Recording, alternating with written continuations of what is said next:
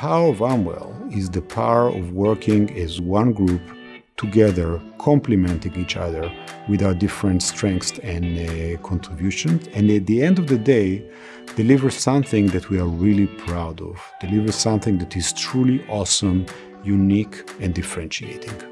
We believe that we are one part of a very large uh, ecosystem, all contributing to create a much bigger outcome than ourselves. One of the reasons I love Amwell is the people. I constantly say that this is the most talented, hardest working, mission driven group of people that I've ever had the chance to work with. And because everyone is so talented, they make you a better team member and really challenge you and encourage you to be the best that you can be every day.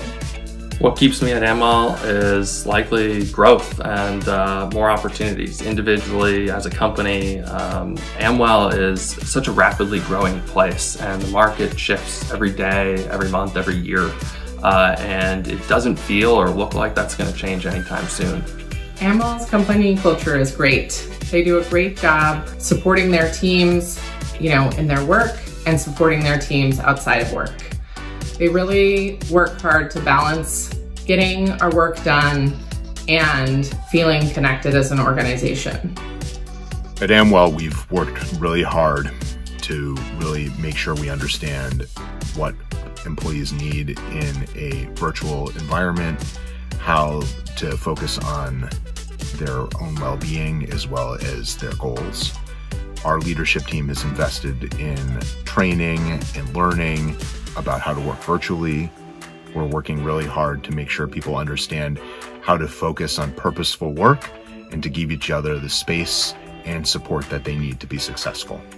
One of the things that we really encourage associates to do is to open their virtual doors, to reach out to people, you know, not just the people you're working with. Um, and I think that keeps, you know, relationships alive. And, you know, at the end of the day, you don't even realize that you were virtual. You know, do things as if you are in an office setting. So we've really shifted away from the classic nine to five business model because as the world shifts, Amwell's had to shift as well. Our, our focus is really on making sure that you're able to get your work done and also maintain a healthy life balance. In terms of Amwell being supportive of our diversity, equity, and inclusion initiatives, they have been tremendously supportive and really take on the perspective of the village. It takes a village to make our work happen. And I think between our HR team, our executive team, and all of the employees that really make the grassroots movement of our initiative at Amwell, they've really created uh, and done such a great job in creating like a voice for everyone at the table.